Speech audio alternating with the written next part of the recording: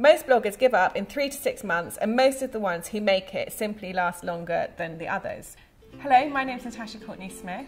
I'm the author of a book called The Million Dollar Blog, and I also run a business that provides digital marketing and content strategy to clients ranging from celebrities to small business owners and charities. I think one of the achievements I'm most proud of is obviously getting this book written and published and seeing it do so well in terms of its sales. That's been really, really, really great. So the book came about because I gave a talk for Enterprise Nation and the talk was called How to Turn Your Blog into a Business and it was absolutely packed and it made me, made me think there's so much people want to know about this field. My website is super important to my business and it's important to anybody's business.